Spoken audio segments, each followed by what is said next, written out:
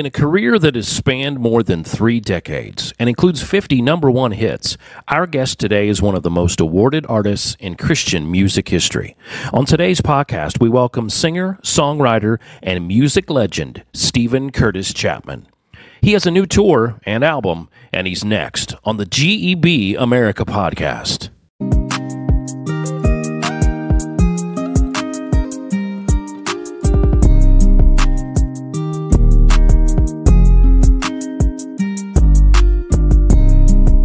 We are so glad and pleased to have Steven Curtis Chapman join us today on the GEB America podcast, all the way from Franklin, Tennessee. Good morning, sir. Good morning, everybody. Good to be talking to you.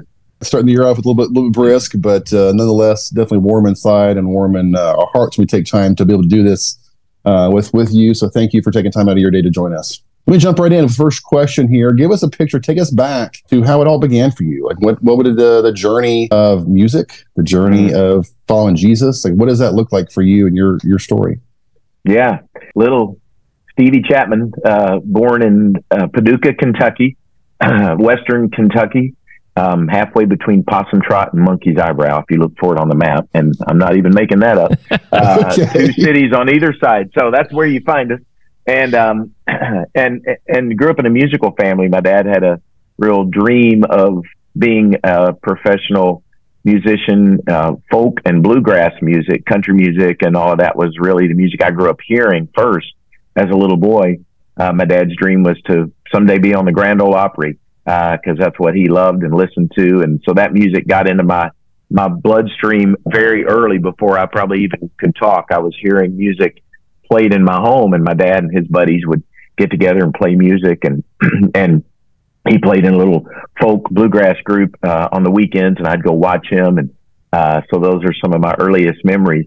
When I was about six years old, um, my life really, my family's life really was transformed by the gospel and by uh, my dad and mom really committing their lives to following Jesus, um, which made a just a real radical transformation in my home both had grown up in the church and then just kind of that was not a, a, part of their life going forward really as they became adults until uh, uh, revival came through our little hometown and our little church. And um, my dad who'd grown up without a father uh, sadly unfortunately my dad's dad my grandfather on my dad's side was alcoholic and destroyed his life and his relationship with his family. Left home when my dad was three died when my dad was about nine uh, and so he never had a relationship with him and never had really a father figure as a result because my, my grandmother never remarried and just raised my dad and his brother alone. So when Jesus came into the center of their lives and his life really was a, a transformational thing. His dream of chasing the music and trying to make it in music, meaning probably that he would have to leave his family uh, for the better part of their life and go chase this dream. He laid that dream down to really be at home and be with us, uh, you know, in church on Sunday. And music then became a central part of our family and our life. And we sang together. My dad owned and still does own a little music store in Paducah called Chapman Music, where he teaches guitar lessons at now at 84 years old, still wow. five days a week. Um, wow. And so, so that was the, the environment I grew up in learning, you know, my first song on the guitar was, uh, Johnny Cash Folsom Prison Blues uh, yeah. So you know, I'm learning prison songs, and then my next song probably was "He Touched Me" by Bill Gaither. Uh, you know, so you know, you got a little of all of it going on in the, in the home I grew up in because my dad, you know, loved music, played music, taught music, so he was teaching all kinds of music, which would be part of why I would know songs from you know gospel to rock and roll to you know the the Eagles and the Doobie Brothers and you know all the great songwriters of you know the the James Taylor's, Jim Croce, John Denver, uh, you know all those kind of songs, and um, so all that kind of was getting mixed around in my life and my heart, and but singing in in church together as a family, growing up at, with that experience, my brother and I started singing together. Graduated from high school and went to work at a place in Nashville called Opryland USA, which was an amusement park that used to be here, uh, is no longer. But at the time, it was a great, especially the live music shows there were really good and a great opportunity to kind of get, you know, get in the in the Nashville music world. Um, and uh, I sang on the Grand Ole Opry when I was 19 years old, which, needless to say, was a big deal to my dad with his dream. I got invited Yeah. as a performer in the park to come be Yeah. uh, a guest performer on the Grand Ole Opry one day as a kid, and uh, so you know that that started to open doors for me, and uh, and I started writing songs in high school. That was really kind of how I found my voice. My brother was the better singer, really, and my dad is a great singer. I didn't grow up really as a singer in the home. They were the singers. I was a real focused on my guitar playing, and and and then I started writing songs. And uh, incidentally, while I was there at Opryland, some songs of mine fell into the hands of none other than Bill Gaither, the guy who wrote the songs Mhm. I grew up singing with my family. Uh, through a just an acquaintance that found out I was a songwriter, took some songs of mine on a little cassette tape, played them for his good friend Bill Gaither uh, up in Indiana, and that all led to me ending up with my first publishing deal and moving to Indiana to Anderson College to study music there under Bill and Gloria Gaither's kind of mentorship, and um, uh, that of course began to open a lot of doors for me, particularly as a songwriter. And uh, then 1987 got to make my first album, um, and uh, for Sparrow Records, and uh, I guess as they would say, maybe the rest is uh, history in the making still, because thankfully somehow it's still it's still uh, the story is still being written. Yeah. Yes. Well, and I think that's something that I, you know, in having you on, I, I of course grew up kind of, you know, we talk about in Southern Ohio, kind of grew up hearing all the bluegrass. My dad was a big Johnny Cash fan and all that. And so Oh, when I yeah. started listening to your music uh, back in the late 80s, I remember thinking, wow, I can hear the influences. Uh, and I think that's what kind of drew me to, to liking your style and liking your, Hmm. uh, your songwriting. And um, incidentally, I was telling Steven, uh, my first CD I ever owned, my mom bought me More to This Life. That was the first CD. No way! Oh, Yeah, wow. very first That's one. awesome. So uh, yeah, I think the second one was Stryper, but you know, I mean, it That- is. Hey, You started out right and, and then just went up from there. yeah, you know, it's just like variety, right? You got to have diversity in your That's music. right. That's right. And I think that uh, I wanted to ask you about the how do you maintain that consistency? You know, from from those first songs to like you you just released here recently the new album, still, and we'll talk about that in a minute. But uh, the consistently consistency to be able to really just churn out song after song that people love, people embrace, and that are are these hits. You know, now what fifty number one Yeah. hits uh, within that. Uh, that's remarkable. Yeah, uh, you know, it really is uh, amazing to me. I mean, nobody's more amazed by that than I am. More, nobody's more grateful, uh, and and I am more aware, you know, than anybody of the reality of that doesn't happen in in a vacuum or just because of what I do. It happens because I've had amazing people around me, support, you know, from family and and pastors and mentors and people pouring into me, you know, just uh, spiritually, uh, even living and not living anymore. You know, the writings of C.S. Lewis and A.W. Tozer and Dietrich Bonhoeffer, and you know, the list goes on and on. And and those that have inspired me, and then turns into song, and the great songwriters from you know the Christian you know songwriters and and guys that inspired me. Dallas Holm, if you remember that name from many years ago, who is Mm-hmm. still a, a dear friend. His wife, actually, Linda, just passed away a few weeks ago, and um, sadly, and and just heard from him recently. But um, but then you know, songwriters to the Jimmy Webbs of the world who wrote those great songs for Glen Campbell that inspired me so much. You know, when I was a kid, like that's storytelling at its best. You know, you paint a picture, and as a listener, you're there. You know, you're you're sitting there. You know, uh, with that Yeah. with that singer experiencing what they're telling you about. Those kind of songs really impacted me when I was a kid, and so those are the songs I think that I aspired to to write and create. Um, and and then you know I think staying trying to stay a student of music. You know, just still listening, still being inspired, still finding music that inspires me.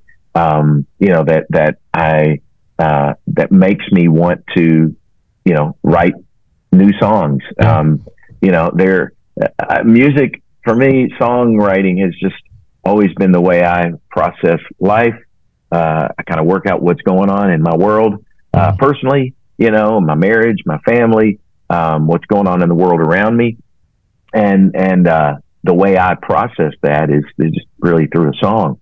And so I feel like as long as I'm breathing, you know, talk about at this point in my life, you know, all these artists that are doing the farewell tours, you know, I see a lot of yeah. those and, and I'm like, you know, it's hard to imagine ever a day when I put my guitar in the case the last time and go, well, yeah, I think I'm, you know, I'm done. I'm, I'm done writing songs. You know, I'm thankful that the, that, you know, pressure and that expectation and gosh, you got to churn out another record and, you know, the record labels there waiting and, you know, the next thing, the next thing that that is, you know, that, that has died down and, and slowed down, thankfully. And, and, but as is evidenced in this still record, you know, the song, the very title of that album still is, uh, as I say in the song, I'm still, I still want to sing, you know, about the grace of God, the love of God. It's still as amazing and, you know, uh, uh and, transformational in my life and I see the impact of that now in different ways. And I've lived through a lot. I've lived through a lot of heartache, hard things, sad things.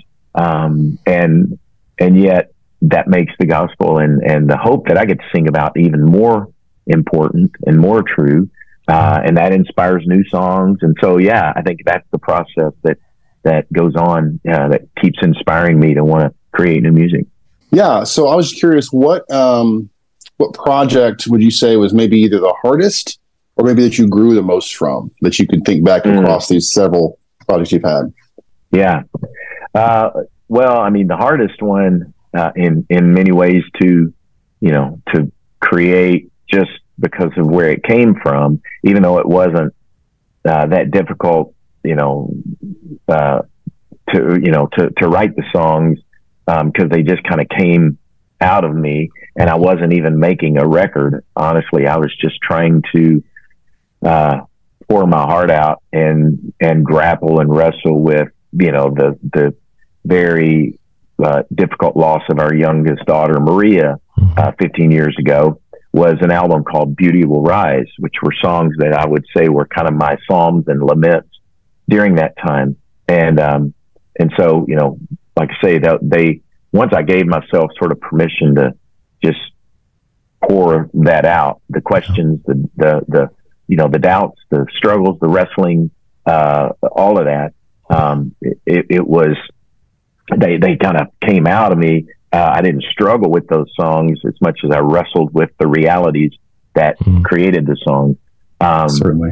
And, uh, and so that, you know, that was, uh, one that I, I think often, and even when I recorded, I thought, I don't know if this is even an album. I don't even know that people are going to, they're not going to want to, this is not an album. Hey, let's listen to the new Steven Chris Chapman record. You know, uh, it, it's, it's heavy. It's really, it's, but I've had so many people that have said of all of your music, when I needed it, that album, yeah. I felt like here's a friend, just like when you read the scripture and you read, you know, uh, you know, Job and you, you know, this is coming from the heart of someone suffering and, and mm-hmm. wrestling and grappling with God and His goodness and His His perfect will, and yet what does that mean, and how do I how how what I do with that? You know, you you know this this guy's not he's writing from a place of deep uh, of his own deep struggle, and uh, or or you know King you know the Psalms, so many of the Psalms. How long, oh Lord, are you going to forget me forever? You know those kind of things that have become so precious to me and so mm-hmm. important in my life to uh, have that. So I felt like that was you know, uh, one that I really was thankful that I got to share uh, with people, you know, in that way. Um, anyway, that's one that yeah, comes. Thank you. I was just gonna say, I was wondering with kind of as you wrestled with that and walked through that, that made me think of of maybe a little more of an understanding of what David might might have gone through as he was writing through and pouring his heart out in the in the, in the scriptures. You know, because he was singing songs and it's like like you said, like mm. how long and does that yeah. any of those kind of things kind of come for you? Oh, absolutely. The Psalms. I mean, I've said it many times. The Psalms became so much more. I think I, I. It's weird to say, but I, it was like for the first time in my life, I really kind of got the Psalms. Mm. Uh, I, I think I, I would read "How long, O Lord, you're going to forgive me forever," and then but your love is better than life in the same chapter, you know, in the same mm-hmm. like yeah. passage, you know, you see, you see this like schizophrenic really kind of thing going on in David. And all of a sudden I was like, yeah, I totally get that because I feel that like, God, you've forgotten me. I don't even know if you, if I'm anywhere on your radar, if you even know I exist. I don't know if you exist. I'm, I'm in this dark place.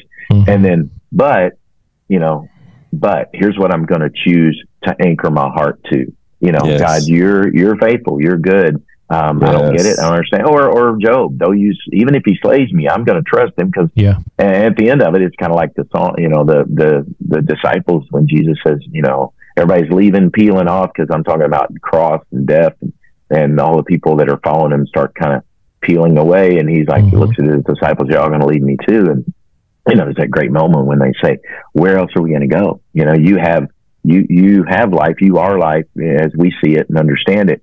So we got nowhere else to go, nowhere better for sure. Uh, even though we don't understand it, we don't get it, but you know, this is where this is where hope is. This is where life Yeah. is, and so uh, yeah, I, I think that's you know, I, I definitely the Psalms became so much more important, which is why I would then do an album that I would honestly say probably was one of the hardest ones for me to write, only because it was out of the element of what I typically do as a songwriter.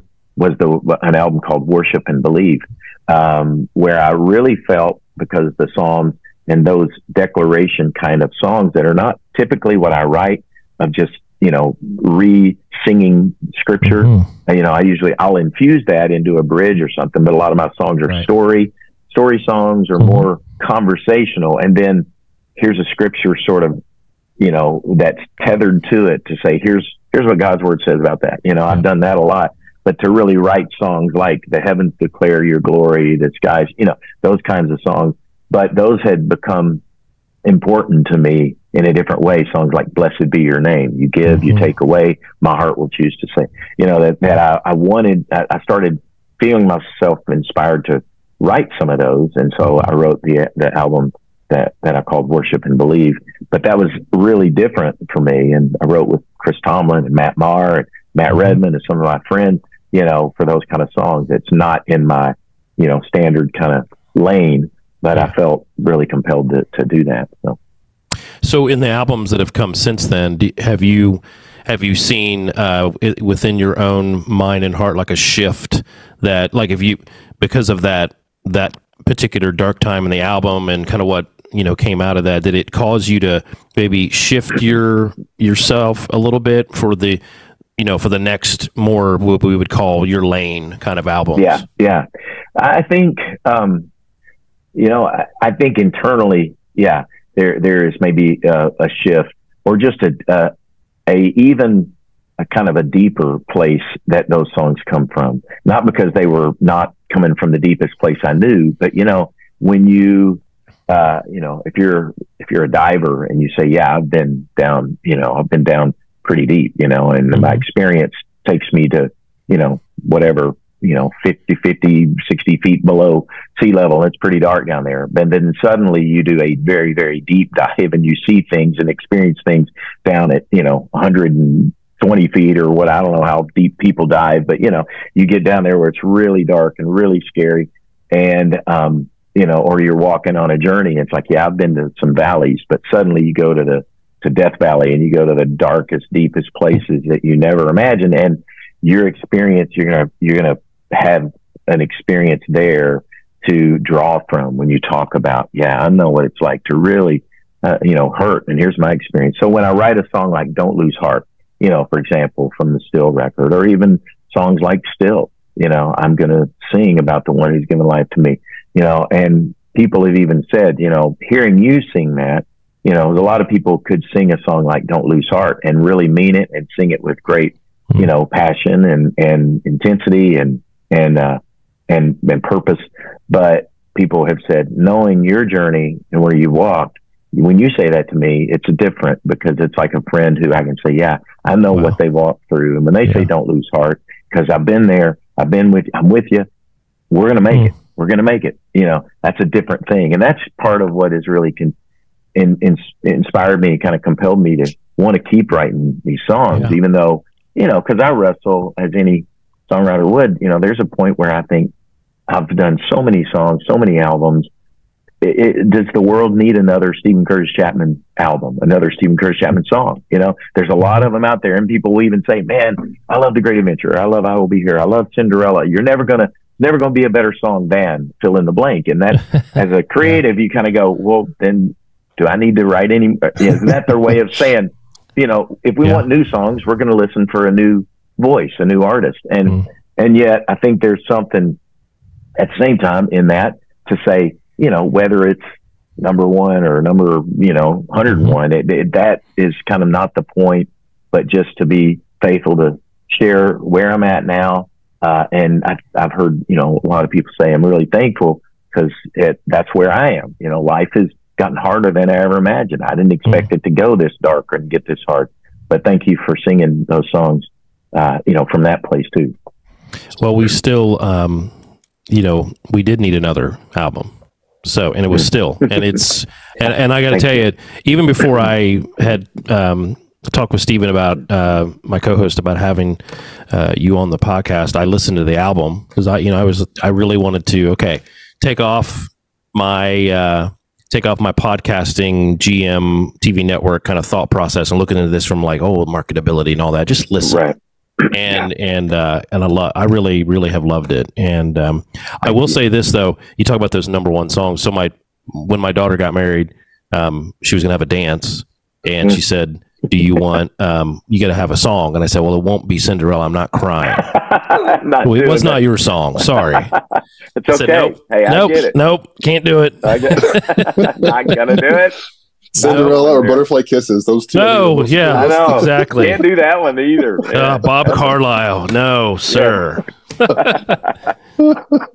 I've I've got my daughter is 11 and I've already she's like yeah in, in four years I'll be driving. I'm like stop. Don't no, you're not driving yeah, yet. Yeah. it reminds us dads our dads is we jump to that that moment right? You're like mm-hmm. you know all of a sudden Cinderella they were like dancing. And I'm like stop. I can't even think about it yeah. too much. Uh, yeah. Anyway so I I gotta say I joined probably the the your journey of songs I think back in the for sake of the call and mm. you know the great adventure definitely some good memories the early 90s there of that one um, but tell us a little bit more about how this this uh, this album you, you, mentioned a little bit alluded to it already but yeah. just tell us about the album still and this tour kind of what does that mean for you what's what's that been yeah. what's it been for you yeah well uh, you know as i said earlier i process life and the world and what's going on around me with music and songs and honestly if you'd asked me four years ago are you going to make another album uh, full album, I would have said, I'm not really sure because music's changed so much. The consumption of music, you know, the days of albums, you know, and you go buy the record or you buy right. the CD or you buy the cassette and listen right. to the whole thing. That's all changed. And now people make songs and eventually maybe an EP. And then, mm-hmm. you know, maybe eventually there's enough, they have a 12 song or 30 song album if you're right. Morgan Wallen or whatever, you know. Mm-hmm. um, and so it's just all different. The game, you know, the, the rules have changed. And so I, I would have said, I don't really know if, if I'll write, you know, uh, that many songs around a theme and the way I've always thought about albums because it's just people listen to music differently. They listen for songs and not take that journey necessarily that I love to create with an album. Um, but as I was living through the pandemic, uh, with the rest of the world and so many things that were happening in the world were unprecedented things that I'd never mm-hmm. experienced. And then I'm, then I lost, you know, a friend, very dear friend who played keyboards with me for years and years, Brian Green, uh, lost a brother-in-law, my wife's, uh, sister's husband, who we walked mm-hmm. through his, uh, brain cancer mm-hmm. and very quick five, six month journey, uh, of him being diagnosed to him passing away at hmm. 62 mm. years old and just a, a re, you know relating a lot to to that journey that's where the song uh, love now came from that's where the song kindness came from at his at his funeral so many people getting up and just talking about he was kind he was mm. a hmm. you know worked at the gas company in springfield ohio and uh, not a name uh, or, or, a life that you would have ever read about in a, in a book or a you know newspaper article but just a uh, just salt of the earth guy but just walking through that journey with him, it, it impacted me so much. Um, and then looking at what was going on in the world and seeing so much conflict and so much, you know, more of just division than we've ever experienced in our world, politically and racially and everything. And all that stuff started to just, I, well, I, I have, I have songs coming out of me around those themes or songs I want to write. And so I started, you know, just writing these songs and, um, and thought, well, I want to share these, you know, uh, I want to share them with my friends. And again, kind of push aside all the voices of, well, is it, you know, is it relevant? Is it current? Is it cool? Is it all the things? And it's just, this is just my heart and tell the stories that I feel like, you know, I'm living in right now. Uh, and ultimately, you know, the, the title and the whole idea of the word still was that, you know, I just still really am compelled to do this. I, I think it's still is important and matters and is worthwhile sharing uh, these thoughts and these songs to encourage people uh, in their own journey because a lot of people are right where I am. They've been on this journey for a long time, uh, you know, they're but they're struggling with new realities that we've never wrestled with before. Mm-hmm. Faith, church, you know, uh, pandemic, you know, communities are going away, can't be together, can't meet together. What does that look like? The loneliness of that, the isolation, you know, all those things that kind of created these songs and, and really just the joy. I mean, I, truth is I love making music and back to the concert at hand and, uh, kind of returning around to that, you know, people have asked me, to, you know, you, are you, is that just kind of something that you're sort of continue to do? Are you tired? Are you weary? Or is it, is it still exciting?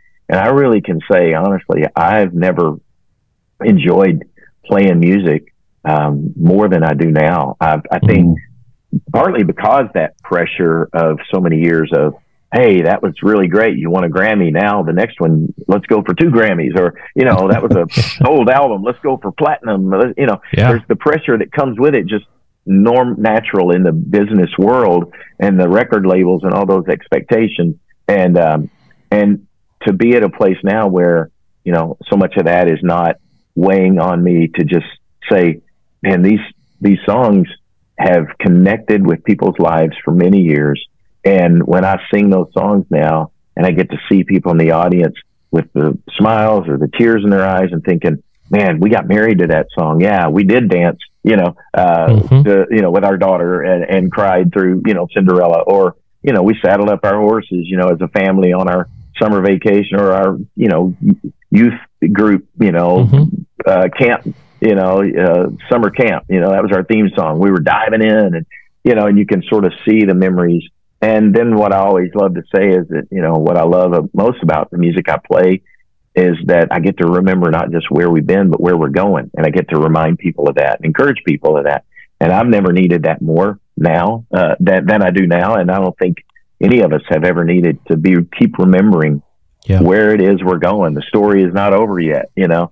Um, so yeah, so that's what I love about getting to do, getting to still do these songs and play them live and get to have great musicians. I got some guys touring with me on this tour that are incredible, world class musicians, and I love getting to expose people to that too. To just go, man, this is great music being performed really, you know, great, world class by these great, mm-hmm. great musicians, and you know that's that's a fun thing to get to get to be a part of. Go to StevenCurtisChapman.com. In the notes of the show for our listeners, there's a link there, and you can go through and you can click on tour, and you can see everywhere that he's going to be here this spring. And I know they're adding more tour dates. Probably by the time this is uh, this is live and this episode drops, there'll be even more that are added. And uh, be sure and go out and uh, enjoy a night of music uh, with Steven Curtis Chapman. Uh, I wanted to ask you one last thing: is for our listeners a little behind the curtain, peering behind the curtain with Steven Curtis Chapman and family. What what's something that you all enjoy doing that maybe most people don't know? Something that's a family event or hobby tradition. Yeah. Um, wow.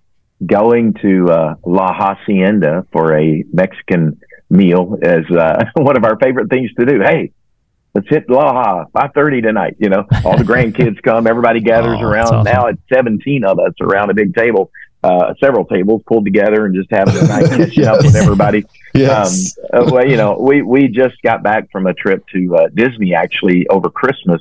Uh, several years I've had the opportunity to do uh, be a part of something there called Candlelight Processional, where I get to read the Christmas story oh, actually yes. straight from Scripture. And there's a big Love choir it. and an orchestra, and th- they do That's this every great. year from New from Thanksgiving to New Year's. And so I've done that off and on for the last 20 years. So my kids have grown up. Now my grandkids are growing up, you know, somewhere around the Christmas time of us going and spending two or three days at, at Disney World as a family, uh, hearing the Christmas story, me narrating it, being a part of it, but then of course playing at Disney, which, you know, is always fun. Uh, so, you know, that's one of our family traditions, but, um, just anything we can do together. We love being together. And in fact, I'm sure today I'll end up bundled up out in the snow with my grandkids probably. So you've got seven now, right? Yes. Yeah. So, uh, so how's that? You know, I oh, mean, what has that? How has that changed you? It's it's awesome. I mean, it's amazing, and I still can't believe it.